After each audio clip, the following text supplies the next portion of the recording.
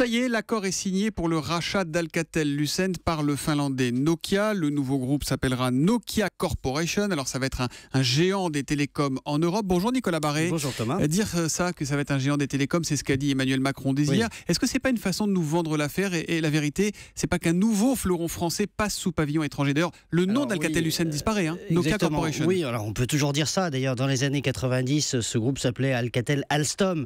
Alstom a été vendu récemment euh, pour les trois quarts à un groupe américain. Et puis donc Alcatel passe sous pavillon finlandais. On pourrait dire aussi, bah, vous avez Lafarge, euh, le cimentier, qui est en train de devenir suisse. Vous avez euh, le chimiste Rodia qui est devenu belge, etc. etc. effectivement, il y a un certain nombre de grands groupes français qui passent sous pavillon étranger. Mm. Mais Nokia, Nokia, c'était pas un groupe qui était au bord du gouffre. Il y a quelque temps, on disait que leur téléphone se vendait plus. Et là, oui, c'était un, groupe qui s'identifiait même à l'économie de toute la Finlande. Ils avaient même des forêts, ils avaient des, des, des tas de choses. Un groupe qui a effectivement connu une très très mauvaise passe, qui a raté un certain nombre de virages stratégiques et notamment dans les mobiles, mais qui s'est restructuré.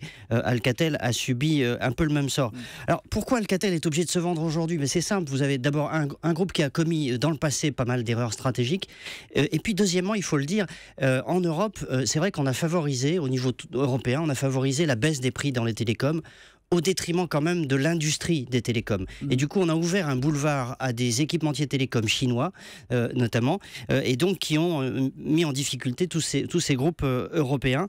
alors aujourd'hui, maintenant qu'on en est là, on fait quoi?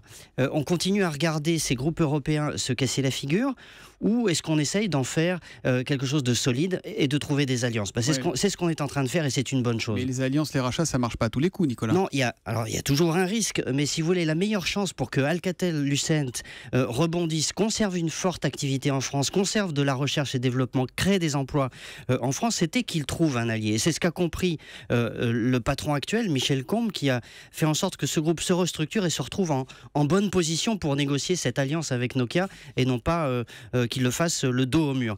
L'important maintenant, c'est que ce nouveau groupe ait les clés pour, être solide, parce que c'est une industrie stratégique. On le voit d'ailleurs tous les jours dans les réseaux, dans les, attaques terroristes, par exemple, sur les réseaux. Euh, donc, alors c'est un groupe à dominante finlandaise. Mm. Et alors, euh, les Français euh, sont minoritaires chez Airbus et ça marche très bien. Il vaut mieux être minoritaire dans un groupe qui marche très bien que, d'avoir les clés d'un groupe qui, est moribond. Voilà, Nokia qui aura la part belle hein, de, cette nouvelle entité. Le Finlandais ne prévoit pas de suppression supplémentaire par rapport à celle déjà, déjà engagée dans la restructuration d'Alcatel, mais des économies de coûts de 900 millions d'euros sont bien au programme d'ici 2019. Fusion et conséquences, si vous avez des questions à poser à Nicolas Barré sur euh, ce nouvel, cette nouvelle entité donc, qui va s'appeler Nokia Corp vous n'hésitez pas, vous nous appelez au 3921. Et Nicolas, éditorialiste économique d'Europe 1 et directeur de la rédaction des Échos, vous répondra dans le débrief de la matinale. Ce sera juste après Nicolas Canteloup.